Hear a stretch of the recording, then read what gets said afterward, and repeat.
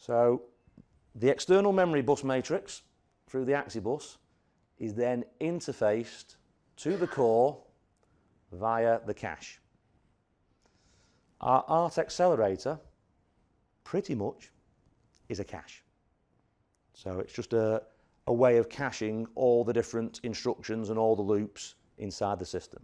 So it does exactly the same effect as these caches that we have here. So your external memories in particular are slow. Um, SD RAM is running at half the core speed because of the external memory bus, runs at half the uh, system speed. So therefore, any instructions or any code you choose to access through the external memories, you will need to cache it to make sure that you guarantee your core zero wait states. So that's external to our chip.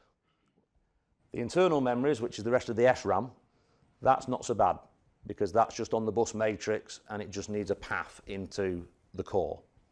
So, so we actually route it through here and it gains the benefit of the D-cache. It's running at the same system clock speed anyway, the internal memory. Doesn't really need the D-cache, but it adds benefit to it in case you've got other things going on on the bus matrix that can potentially slow that down. So, so it will add the benefit to it, but doesn't particularly need to run through the D-cache.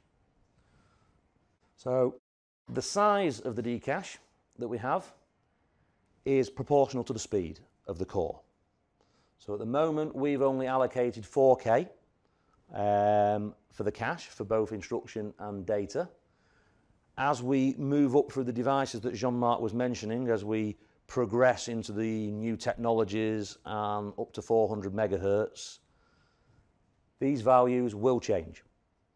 So I think on your laptops, I think you've got a 2.8 gigahertz Pentium, and I think you've either got a one meg cache or a four meg cache, uh, four, yeah, four meg cache inside your Pentium processor. So it's all relative to how fast you want to run that core will be how large you need to have your cache to guarantee your zero wait states.